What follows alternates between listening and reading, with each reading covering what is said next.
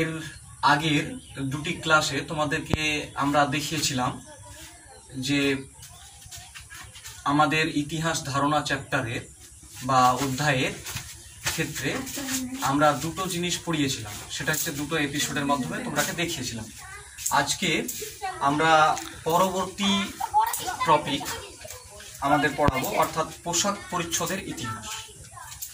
তোমরা জানো যে পোশাক পরিচ্ছদ আমাদের সঙ্গে অঙ্গাঙ্গিকভাবে জড়িত, এতপ্রতভাবে জড়িত। কেন?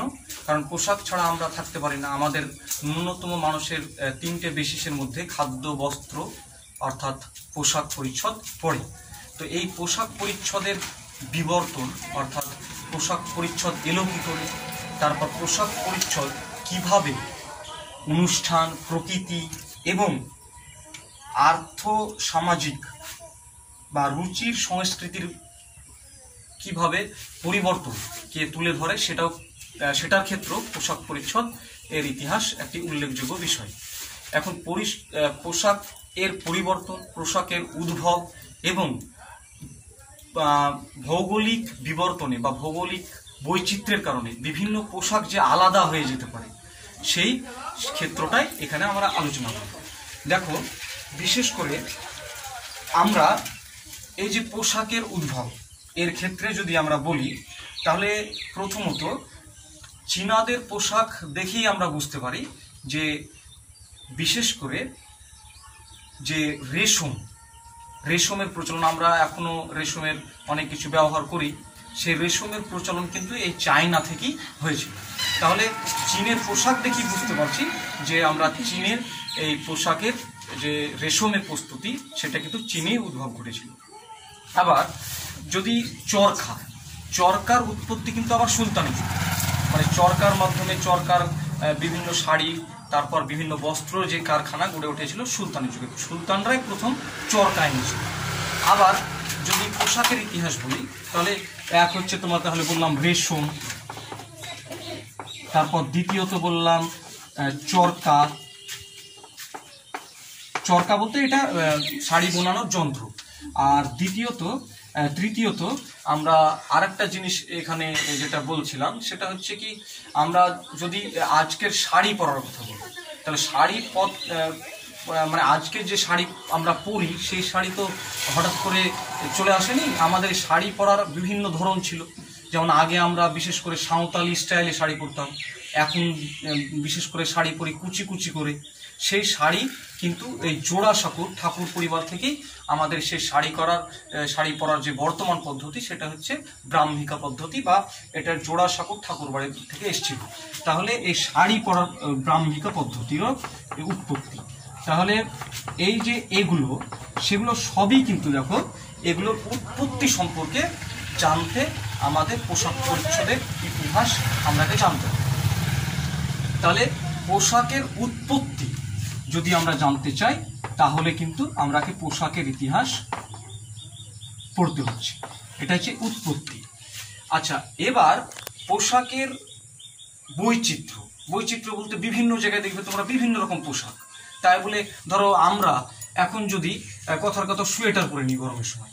তাহলে কি আমাকে ভালো লাগবে? বা সোয়েটার পরতে পারব? অবশ্যই পারব না। তাহলে সোয়েটারটা কোথায় পরতে পারব? যখন ঠান্ডা পড়বে। তাহলে এখন যদি ইউরোপে যাই, তাহলে ইউরোপে দেখব অনেক জায়গায় হয়তো সোয়েটার আমরা বেড়াতে গেলে পরতে পারব। বা আমরা দার্জিলিং গেলে পরে সোয়েটার পরতে পারব। তার মানে দার্জিলিংয়ের পোশাকের সঙ্গে আমাদের পোশাক এক হবে না। কেন হবে না? কারণ হচ্ছে আমাদের যে ভৌগোলিক বৈচিত্র্য, সেই ভৌগোলিক বৈচ- বৈচিত্র্যের কারণে আমাদের পোশাক পাল্টে যাবে। যেমন আমরা বলি বিশেষ করে হরিয়ানা, পাঞ্জাব, হিমাচল প্রদেশ এইসব জায়গাগুলোতে সালোয়ার কামিজের কথা।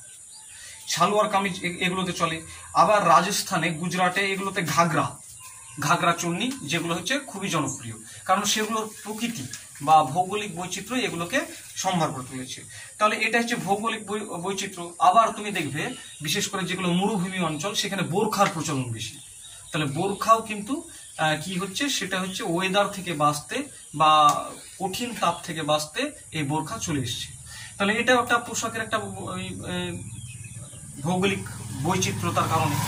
আবার অনুষ্ঠান এই অনুষ্ঠানও কিন্তু পোশাকের আহ, সবকিছুকে আহ, পোশাকের ধরনকে পাল্টে দেয় অনুষ্ঠান। ধরো আজকে যদি আমি যেভাবে পোশাক পরেছি যদি মাঠে যাই তাহলে পোশাক আলাদা হবে। আবার যদি ধরো বিয়ে করতে যাচ্ছি তাহলে পোশাক আলাদা হবে। যেমন বিয়ের ক্ষেত্রে আমাদের দেশে, বিশেষ করে আমাদের দেশে পুরোপুরি বিয়ের ক্ষেত্রে তারা পোশাকের ধুতি, শেরওয়ানির একটা প্রচলন আছে। আমরা জানি কি তাহলে পরে ধুতি, শেরওয়ানি পরে আশা করি মাঠে কেউ যাবে না। তাহলে এই যে অনুষ্ঠান, এই অনুষ্ঠানও কিন্তু পোশাকের, অর্থাৎ পোশাকের বিবর্তন ঘটিয়ে দেয়, অর্থাৎ পাল্টে দেয়। ধুতি এবং শেরওয়ানি। এবার কি হচ্ছে প্রকৃতি? আমি তো প্রকৃতির এতক্ষণ বললাম, প্রকৃতির কথা। অর্থাৎ সালোয়ার কামিজ, তারপর ঘাগরা, এগুলো হচ্ছে প্রকৃতির কারণে পাল্টে যায়। তা বোরখা। আবার ধর্মের কারণে আমরা জানি কি, ধর্মের কারণে অনেক পোশাক পরিচ্ছদের পরিবর্তন ঘটে। যেমন আমাদের ক্ষেত্রে আমরা লক্ষ্য করে থাকি কি যেখানে আমাদের মুসলিম মহিলারা যেভাবে বোরখা পরে, আশা করি হিন্দু মহিলারা সেভাবে পরে না।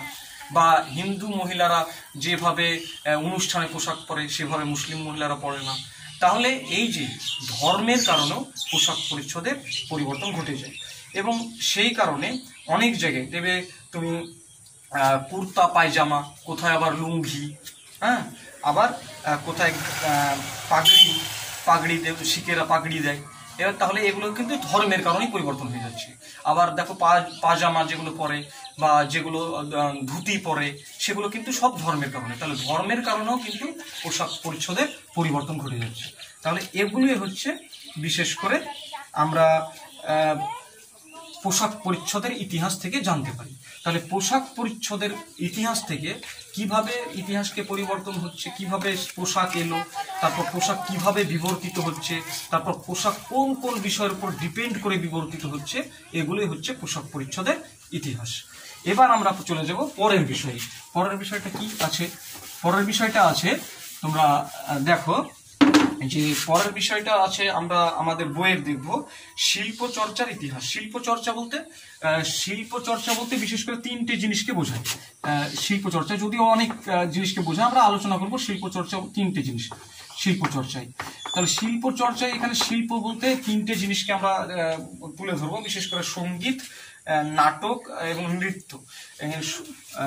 এখানে তিনটে জিনিস আমি তুলে ধরছি। এক হচ্ছে সংগীত। এখানে দুই নম্বর হচ্ছে তোমার নৃত্য, বলতে নাচ। আর তিন হচ্ছে এখানে আমরা ধরবো নাটক বা চলচ্চিত্র। নাটকটাই পরবর্তীকালে পরিবর্তিত হয়ে চলচ্চিত্র। চলচ্চিত্র বলতে সিনেমা বা তোমরা সিরিয়াল, সিনেমা এগুলোকে বোঝায় চলচ্চিত্র বলতে তাহলে এগুলো পরিবর্তিত হয়ে মানে এই শিল্প চর্চার মধ্যে এইগুলোর ইতিহাস আমরা জানব। সংগীত হঠাৎ করে তো চলে এলো না? দেখো, আমরা অবসর সময় সবাই গুনগুন করতে ভালোবাসি। অনেক সময় কেউ গজল গায়, অনেক সময় আমরা গুনগুন করতে বা কিছু মিলিয়ে কিছু গাইতে ভালোবাসি, যখন আমাদের মন একা থাকে। তখন সবাই কিছু গুনগুন করে আমাদের বলতে ইচ্ছে করে। এই যে গুনগুন থেকে আমাদের মনের অভিব্যক্তিকে তুলে ধরার জন্য আমরা কখনো কখনো নিজে নিজেই গাই। এই গাওয়া থেকেই আমাদের বিশেষ করে সঙ্গীতের উৎপত্তি। এই সঙ্গীতের ক্ষেত্রে উৎপত্তি এবং সঙ্গীতের বিবর্তনের ক্ষেত্রে আমাকে জানতে হলে সঙ্গীতকে জানতে হবে। যেমন তুমি, আমরা যদি কাওয়ালির কথা ধরি, কাওয়ালি যেমন বেশ জনপ্রিয় পাকিস্তান সহ বিভিন্ন ইসলামিক কান্ট্রিগুলোতে কাওয়ালি, বা ভারতের এখানেও কাল, কাওয়ালি আছে, তোমরা কেউ শুনে থাকতে পারবে। হ্যাঁ কাওয়ালির অনেক গান আছে, খুব জনপ্রিয় গান। সে কাওয়ালির জনক ছিলেন আমির খসরু, যিনি সুলতানি যুগে এই কাওয়ালির উৎপত্তি ঘটিয়েছিলেন। এবং শুধু তাই নয় যে সিতার, তবলা, এই যে উৎপত্তি, এই সীতার অন্যান্য বাদ্যযন্ত্রের বা গীত, এইগুলো এই অনেক বাদ্যযন্ত্রের উৎপত্তি ঘটিয়েছিলেন আমির খসরু। তাই ভারতের তাকে বিশেষ করে কাওয়ালির জনক বলা হয়। এবং ভারতের তোতা পাখিও বলা হয় আমির খসরু। তাহলে দেখতে পাচ্ছ কি সুলতানি যুগে যেসব যন্ত্র বা যেসব সুর বা রাগের মানে রাগ বলতে আ করে বিভিন্ন রকম দেখবে তোমরা, সেগুলোকে তোমরা বিভিন্ন জায়গায় দেখেছ, কি বিভিন্ন রকম সুর বা ই করে। সেই যে একটা সুর, সেই সুর ধরে যে গান চলে পরবর্তীকালে, এখনও কাওয়ালি আছে। তাহলে আমির খসরু সুলতানি যুগে কাওয়ালির উৎপত্তি ঘটিয়েছিলেন সেই কাওয়ালি এখনও জনপ্রিয়তা সমান পরিমাণে আছে এবং এখনও অনেক কাওয়ালি গান হিন্দি সিনেমায় অনেক যোগ করা এবং বিখ্যাত বিখ্যাত সিনেমায় সেগুলো যেমন পারদেশি সিনেমায় পুরো দু তিনটা কাওয়ালি গান আছে, যেমন স্বদেশ সিনেমায় দু একটা কাওয়ালি গান আছে, অনেক সিনেমা, হিন্দি সিনেমায় কাওয়ালি গান আছে। তাহলে কাওয়ালি গান সেই সুলতানের যুগে উৎপত্তি এখনও সেটা চলছে। এছাড়া এছাড়া আমরা দেখি যে পাঞ্জাবের ক্ষেত্রে, এই গান কিন্তু কাওয়ালি এখানে জনপ্রিয় নয়, পাঞ্জাবে কিন্তু আবার ওরা গান শুনে গোলাম নবী প্রবর্তিত, গোলাম নবী বলে একজন বিখ্যাত ব্যক্তি টপ্পা বলে গান করেছিলেন। টপ্পা বলতে এক ধরনের গান সংস্কৃতির গান, সেগুলো প্রচলিত আছে। আবার কোথায় যেমন পাকিস্তানে কাওয়ালি থাকে, আবার এতে আমাদের পাঞ্জাবে চলে, বিশেষ করে টপ্পা গানের প্রচলন আছে। এবং আমাদের বাংলায় যদি চলে আসি, তাহলে নজরুল সংগীত তোমরা জানো, বা রবীন্দ্রসঙ্গীত এগুলো খুবই জনপ্রিয়। তাহলে এছাড়া আমরা গ্রামে গঞ্জে চলে আসি, তো সেখানে পল্লী গীতি, তারপর লালন গীতি, লালন ফকিরের গান, এইসব গানগুলো গ্রামে গঞ্জে কিন্তু খুবই জনপ্রিয়। তো তোমরা আশা করি পল্লী গীতি গান অনেক শুনেছ। তোমরা যেমন মাটির দেহ গানটি, তারপর মিলন হবে কত দিনে এইসব গানগুলো যেমন সবই কিন্তু কাওয়ালি এবং বিশেষ করে পল্লী গীতির অন্তর্ভুক্ত কাওয়ালি আহ, বিশেষ করে লোকগীতির অন্তর্ভুক্ত। এগুলো আছে। তাহলে এতগুলো সঙ্গীতের কথা বললাম। এগুলো বিবর্তিত পরিবর্তিত হয়েছে। আমরা এবার চলে যাব নৃত্য বলতে নাচ কি? নাচের নাচ কি হয়? নাচে আমরা তো দেখি বিভিন্ন রকম নাচ। কিন্তু একটা জিনিস মনে রাখতে হবে নাচ যেগুলো হয় সেগুলো হচ্ছে নাচের মধ্যে দিয়ে যখন কথা কেউ বলতে চায় কিছু সেটাই হচ্ছে আসল নাচ। তো এরকম নাচগুলোকে আমরা প্রাধান্য দিই। বাদ বাকি অনেক শরীর গা, ছোড়া, এসব নাচগুলোকে আসল নাচ বলে না। এগুলোকে বিভিন্নভাবে মনোরঞ্জন বলে। তবে নাচ কোনগুলো? সেগুলো হচ্ছে মনকে বা নাচের মাধ্যমে কিছুকে তুলে ধরা হয়। যেমন অনেক নাচের মাধ্যমে আমরা অনেক কিছু তুলে ধরা হয়। যেমন তামিলনাড়ুতে ভারতনাট্যম এর মাধ্যমে আমরা দেখেছি যে যে নাচ হয়, ভারতনাট্যম, সেই নাচের মাধ্যমে তাদের কোনো কোনো সংস্কৃতি বা তারা কোনো বেদের বা মহাভারতের কোনো অংশকে তুলে ধরতে চাইছে নাচের মাধ্যমে। আবার তোমার কেরালার কথাকলি আছে এবং অন্ধ্রপ্রদেশে কুচিপুড়ি নাচ আছে এবং আমাদের, বিশেষ করে পূর্ব ভারতে ছৌ নাচ। এই নাচগুলো, ছৌ নাচ তোমরা আশা করি দেখেছ সবাই, কীভাবে করে। এবং কেরালায় যেমন কথাকলি খুবই কথার মাধ্যমে এই বাগযুদ্ধ, বিভিন্ন ই আছে আছে, সেগুলোকে তুলে ধরা হয়। তাহলে এগুলোই হচ্ছে আসল নাচ। এগুলো হচ্ছে পুরো, ভারতের পুরনো ধ্রুপদী নাচ। সেই নাচগুলো যদি কোনো কায়দা আমরা জেনে থাকতে পারি পারি, তাহলে ভবিষ্যতেও সেই কায়দা ধরে এগিয়ে ভবিষ্যতে আজকে ভালো ডান্সার হতে পারি। তাহলে সেই নাচগুলোকেই আমরা প্রাধান্য দিই। কিন্তু হাত পা ছোড়াকে নাচ বলে না। সেই জন্য আমি বললাম যে আমাদের ভারতবর্ষে বিখ্যাত কয়েকটি নাচের মধ্যে পড়ে ভারতনাট্যম কথাকলি এবং কুচিপুড়ি, ছো এই সব নাচগুলো। এবং এ নিয়ে প্রচুর চর্চাও হয়েছে, যেগুলো চর্চা করেছে রাগিনী দেবী এবং ওয়েলস, এরা বিখ্যাত ব্যক্তিত্বরা, বিশেষ করে বিশেষ করে ঐতিহাসিকরা। এছাড়া তোমার তাহলে এই গেল না, নৃত্য বা নাচ, এবার চলে এসো নাটকে। এবার নাটক। নাটক তো আমরা সকলেই দেখেছি কি আমরা যেভাবে আমাদের বাস্তব জীবনকে আমরা নিজেরা কৃত্রিম উপায়ে আমরা নিজেরা অভিনয়ের মাধ্যমে বাস্তব জীবনকে ফুটিয়ে তুলতে চাই সেটা হচ্ছে নাটক।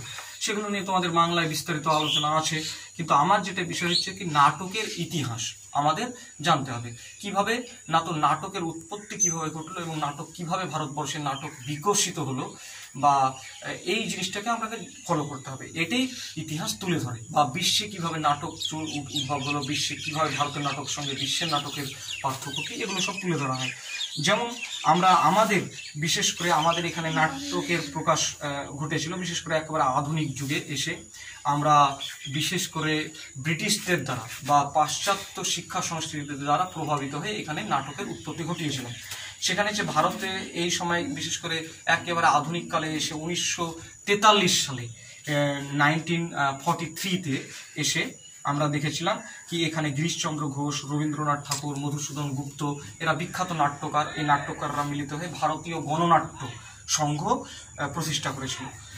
এই হচ্ছে নাটক। পরবর্তীকালে আস্তে আস্তে নাটক বিভিন্ন জায়গায় যাত্রাপালা গড়ে উঠেছিল। যে যাত্রাপালাগুলো আমাদের দিকে নাটক করতে আসতো, পঞ্চরস তার কিছু অপসংস্কৃতি ঘটেছিল, পঞ্চরসের উৎপত্তি ঘটেছিল, তারপর এগুলো ঘটেছিল।